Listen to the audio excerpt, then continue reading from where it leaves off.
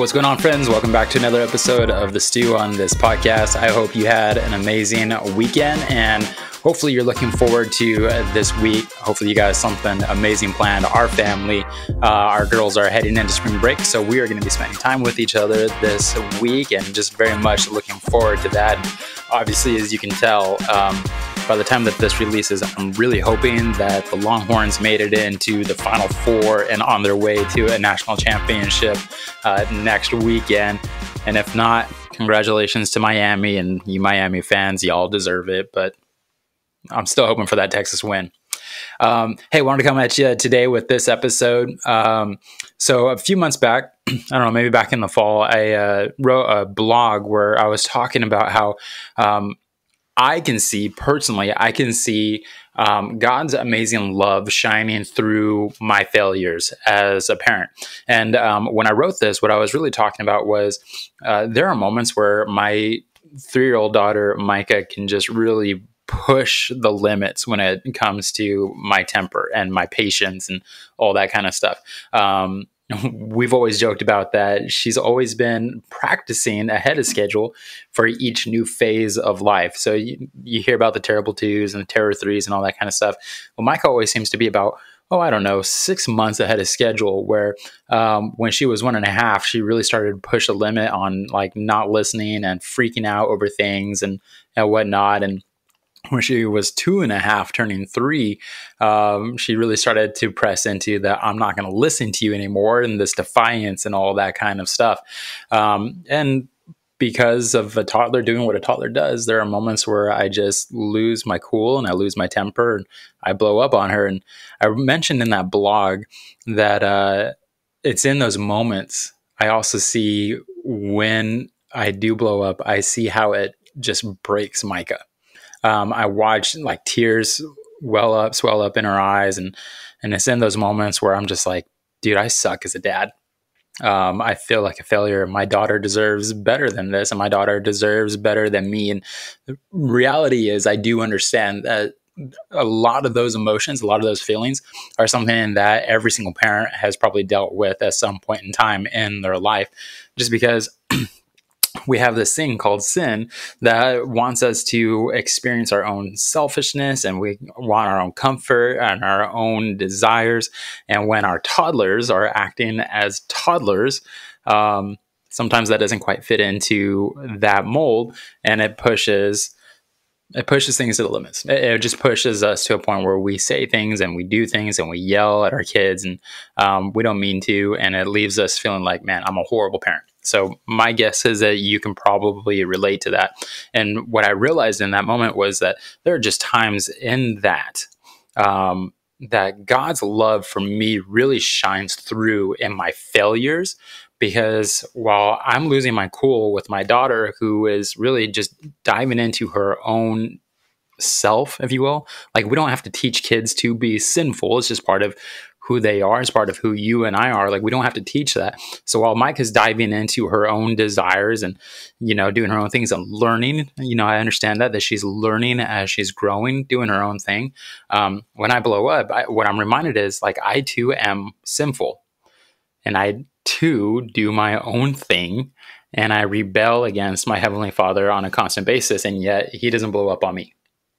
And uh, it's in those moments where I'm like, dude, how cool and how great and how loving and how gracious is our God. So I set that up. Um, I'll drop the link to that blog in this episode if you want to go and read it. But I set all that up just to really talk about really what I am centering uh, this podcast episode on. You see, when Micah was um, probably about that year and a half time frame, she started doing something that really threw Melissa and I for a loop. Um, she started to uh, pull her hair, and we didn't really understand why she was doing this. Um, we didn't know um, like what was the cause of all this. What we did notice, however, was that it was really kind of associated with thumb sucking. So it was kind of like a comfort thing for her. So she would suck her thumb to soothe herself to sleep, and in the process of it, she would be like twirling her finger in her hair, and as it's getting twirled around, she would pull at it.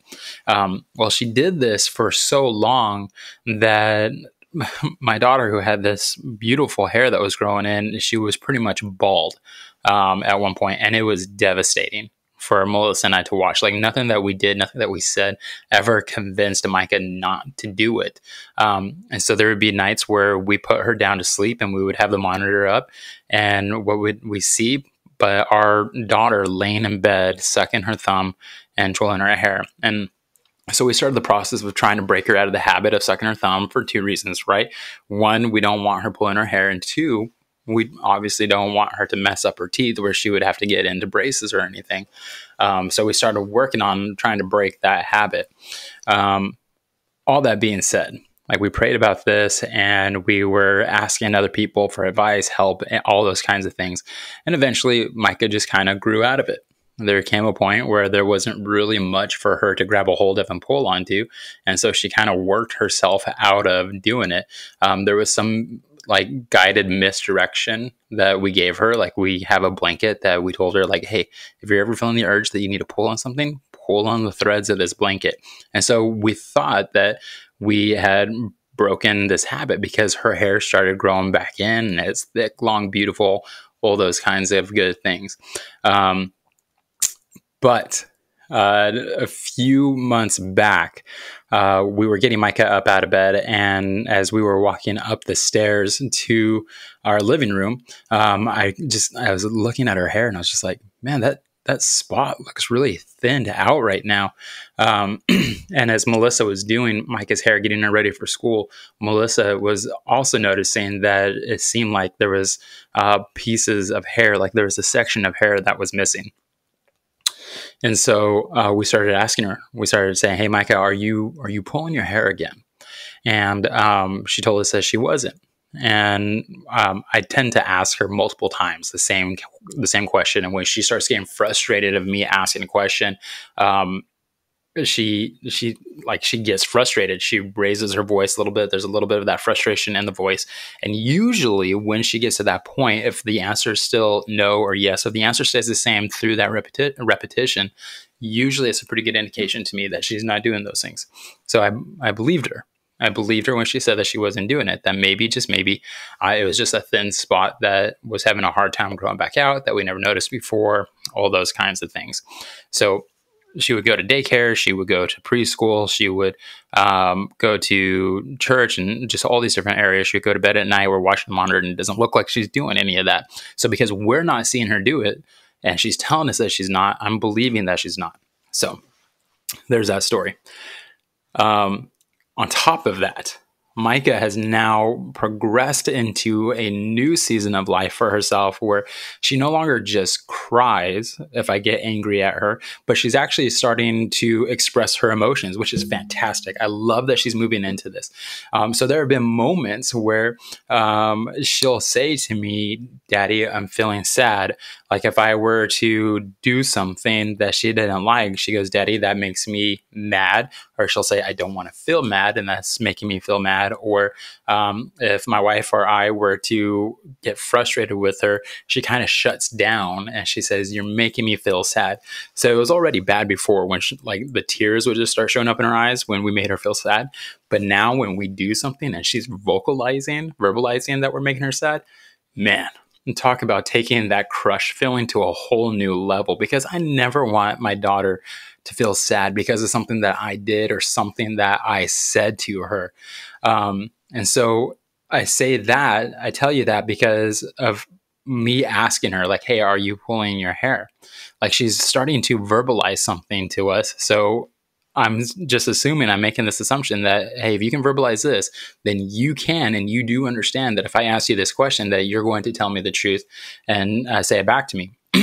well, about a month ago, or actually not even a month ago, it was like a week ago, um, her teacher at preschool, she sent Melissa and I a photo, and she does this on occasion. It's just a way of showing what our kids are up to, and it's like a, a great system of accountability and sharing with us as parents, what they're learning, all that kind of stuff. And lo and behold, what Melissa and I see? Other than our daughter sitting in class, sucking her thumb, which she's a toddler, kids are going to do this, and, and I get that.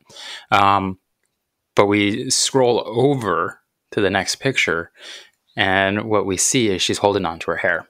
Uh, it looks like that she's pulling on it. And in that moment, I was crushed I was devastated. I knew that my wife was um, because I have watched Melissa break down in tears over um, just this habit of hair pulling. Um, again, we don't know why she does this. We just don't. Um, we have some answers potential answers. We have some reasoning behind it, but we don't know if those are legitimate things. Hence the reason why we go to prayer for this. In fact, I'm recording this after church, and uh, Melissa even told me like our our senior pastor set up such a sweet moment today where we reserved like the last 15 minutes of service just for people to just receive prayer and ask for prayer, whether that was over healing or financial crises or, you know, whatever it was. And Melissa texted me as I was hopping into the VR headset. She says, I went down and asked for prayer over Micah and the hair pulling. I was like, awesome. That's what we're supposed to be doing. We're supposed to be giving this over to God because God cares more about all of this than we do. What breaks our heart also breaks God's heart. God knows what's going on within the mind of that little girl because he's the one that created her. So I love that she did that and I, but I know that she did that because it just it tears my wife up on the inside. I'm fully aware of this. So we get that picture, and we're both just like, I don't know what to do anymore. I, I am at a loss for words. I don't know how to address this. I don't know what to say, and uh, I was really glad that this happened while I wasn't around Micah because I probably would have blown up. This probably would have been a blown up moment for me if I would have received that photo while Micah was in the room. And so as the day went on, I had more time to think about it. And I was driving to her school to go pick her up um, after school. And I just asked God, I was like, God, how do I address this with her? Like, how do you want me to address this with my daughter? And so the concept for this podcast episode is really this idea of a free pass. Because um, this is what I felt God say to me. And this is how I addressed it with Micah. I felt God say, ask her and give her the ability to tell you the truth without her having any kind of consequences attached to it. Um, and I felt like that was so good and such an appropriate response for that moment because I want my daughter to feel comfortable with telling me the truth. Um, I never want her to hide things from me um, in shame or anger or regret or anything like that. I want her to always to be. I always want her to know that dad's a safe place. That dad and mom, you can tell us anything, um, whether it's going to make us sad, upset, angry, happy, whatever it is we want. I want my daughter to know that dad's a safe place to be able to tell me things. Um, because what I mean, we all have this experience. There's probably there are things that we have done that we just hope and pray that nobody ever finds out about because of the guilt and shame that we would feel if that ever came to light. And so I get to the school and I'm just sitting in the parking lot waiting for the bell to ring, waiting to go get her. And uh, as we're walking to the truck, um, it was just that idea of like, Mike is getting a free pass on this because I want her to know that she can tell me things without consequences. Now, not all the time, but there are those certain occasions and i want to re-establish or establish a foundation of dad as a safe space so i get her into the truck and i buckle her in and we get ready to take off and i said hey micah can we can we talk before we leave? And she says, Yes. And I said, Can I show you something? And she says, Yeah. And she loves looking at pictures on my phone. And so I pull open the phone and I show her the pictures. And she gets all excited. And I ask her, Hey, what's what's going on in this picture? And she starts telling me about everything that's going on in the picture. But primarily what she's telling me about is her classmates that are in the picture and the activity that they were doing. So I blew the picture up, focusing in on her. And I said, Who's that? And she says, It's Micah. And I said, And what's Micah doing? And so this was the picture of her sucking her thumb. And just me asking that question, she shut down. Um, and, and she wears her emotions on her sleeve. So immediately she hunches over and she kind of she looks down at her feet in the car seat and she won't look at me. And I said, Micah, it's okay. Like I'm I'm not mad at you. I just want you to tell me what, what's going on in this picture. And she says, I'm sucking my thumb. I said, Are we supposed to be doing that? And she says, No. And I said, Okay. I said, I'm going to show you another picture. And she's still pouting at this point, and I get it. And so I scroll over to the next picture and I say, Who is that? She says, It's me. And I said, uh, and, and what are you doing? And she says, I'm pulling my hair. And I said, are you supposed to be pulling your hair? And she says, No. And I said, Why are you doing it? And she shuts down again. And I said, Micah, you can tell me the truth. It's okay. I want you to tell me the truth. Um, you can tell me what's going on. And she says, I don't want to. And I said, why? And this is a back and forth because why? Because why? And finally she says, because I don't want you to be mad at me. And then she says, and I don't want you to be sad. And I was like, oh, okay, here we go. I said, how long has this been going on? And she just says, I've been doing it. And she doesn't fully understand what I'm asking her. She understands enough, and I'm piecing together enough. Um, but basically, what I'm piecing together is that she's been doing it even though we've been asking her, she's been telling us that she hasn't, and I believe her. So now the trust has been broken. But of course, this is a toddler. I'm not expecting her to have some kind of covenant relationship with me just as just of yet or anything like that. You know, I'm I'm not expecting her to know what lying is or anything. So I'm not holding that against her. But like this trust is now broken because I believed her that when she told me that she wasn't pulling her hair, uh, that she wasn't actually doing it. Um, so I told her, I was like, I'm not mad at you, but I want you to fully understand how this makes daddy feel. This, this hurts me. Um, yes, it upsets me, but I, but I'm sad because I want you to have long, beautiful hair. Um, I don't want you. I don't want kids picking on you. I don't want any of these negativity things for you. Um, so this is the reason why mommy and daddy get upset when stuff like this happens because we want something better for you. And I'm just trying to reassure her, I'm not mad, I'm not angry. Like we're we're going to move past this. So and what and what I see in that is really like a discipleship opportunity because yes, I want my daughter to grow up to be an amazing person, but more importantly, I want my daughter to grow up to be like Jesus in the process. And I, that's why I love so much what God was teaching me in that moment was I was like, "You mess up all the time, Stuart." And I'm like, "Yes, sir, I do." um, and he says, and, "And I don't hold it against you. Not every single time. There are there are consequences for actions. We're all very much aware of that, but God doesn't hold it against us all the time." In fact, he doesn't even hold our sin against us all the time, um, as long as we lay it down at the foot of the cross. Jesus is the one who took on those consequences and that punishment for our sinful, rebellious nature.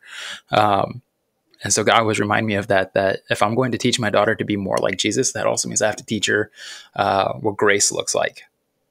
Um, and I have to be the walking example of that for her to learn it. So again, parenting, uh, parenting is this weird thing where not only is it parenting for life situations, but it's also discipleship because I want my kids to grow up to be like Jesus. And so what I was teaching Mike in that moment is what grace looks like. That it's okay to be truthful with with dad. Um, and sometimes there will be consequences, and other times I'm just going to give you the free pass to tell me the truth of what's going on so we can address the situation and maybe change what's happening. Um, so we don't have this reoccurring thing. So here's my encouragement for you today, parents, is this offer your kids a free pass. If there's something that's going on that you think you know is happening, or you do know that's happening, and you just don't know how to address it without getting angry, um, even if your kids were to tell you the truth, my recommendation would be offer your kid a free pass because you'll never be able to address the situation that's going on in their life. You'll never be able to address um, an addiction, a struggle, a pain, sadness that they're going through, um, bullying, anything like that, if you don't establish a safe space for them to do it. And sometimes that happens by just offering a free pass and saying, You're not going to get in trouble. I'm not going to blow up. I'm not going to get angry. Now, here's the space. Here's the platform. Is there something that you want to tell me? Can I ask you about this? Whatever it is, however you want to address it. And again, the more important reason for this is you're now establishing a whole new way of revealing to your kids who God is and his character by offering that grace. Okay. Again, I'm not saying that you do that all the time because if there is a reoccurring situation, I believe in the idea of consequences. Uh, we have grounded our daughter. We have taken away TV. We have um, disciplined our daughter. Um, I believe in those things for the sake of correcting poor behavior. But at the same time, if all they ever know from you is corporal corporate punishment, they're never going to tell you the truth because they don't want you to be angry. They don't want the punishment. They don't want whatever comes along with that truth telling. So you have to teach your kids that it's okay to tell the truth. It's okay to come to mom and dad with these situations um, when when they arise. Because more importantly, what you're doing is you're also teaching that God's a safe space as well. That when they're in need of somebody, they they'll learn that God's not a God who is waiting to smite them for doing wrong, but they're a God who our God is a God who understands and offers up grace. So be an example to your kids this week of the characteristic of God of being that grace giver and offer your kids an opportunity for a free pass to address the situation that's going on in their lives um, so you can get to the root cause of what's going on and establish a whole new um, relationship or new a whole new aspect of a relationship between you and your kid. Um, because if all they ever know is you getting angry at them, they're only going to be driven further away from you, and they'll look for an answer. They'll look for comfort. They'll look for those kinds of things that they're that they're in need of from someplace else. But it might as well be you. So that's my encouragement for you this week. Learn from my failures, from my struggles. Um, please be praying for us as we walk this uh, season out with Micah, with her uh, getting back to the hair pulling. Like we're trying to redirect once again, and we're praying about this. Um, trying to figure out answers for it and all that kind of stuff. But uh, if you be praying for us on that, we would definitely appreciate it as a family. And again, as always, if there's anything I could be praying for you about, uh, about, or you just need somebody in your corner, I would love to be that person for you. Um, all that being said, I will draw this episode to a conclusion. So, as always, if this is a blessing to you, please be sure to leave a rating and review, subscribe to this, and share it with others. All those kinds of things helps get this podcast out to more people. Um, and uh, I'll be back next week. Oh, I also wanted to tell you if you ever want to, uh, you, you, may know if you're a listener of this podcast, you also may know that I've got another podcast on the side that I'm doing with a good friend of mine doing. Um, Metaverse Church podcast. So we're talking about everything about what the church is doing in the metaverse, which is like virtual reality gaming, all that kind of stuff. But if you ever want access to um, the blogs or the podcast, anything like that, um, let me encourage you hop over to the website stuartmcpherson.org, and at the bottom um, is a section that you can fill out, and it's called "Be Blessed Newsletter." This is something that I'm going to be doing. This is going to basically be a here's all of my content for the week in a one snapshot with a word of encouragement, all that kind of stuff. And you can sign up for that just by subscribing. And I'm going to be launching um, this newsletter soon. Um, so if you want to be a part of that, just head over to stuartmcpherson.org, uh, fill out that information there. There you'll be able to find all the other blogs I've written, all the other podcasts, all that kind of stuff. But it's just a one stop shop for you to be able to get something that will drop to your uh, inbox. Um, I think weekly is the process is the plan right now. So interested in any of that, you can just hop over there. But all that being said, until next week, be blessed.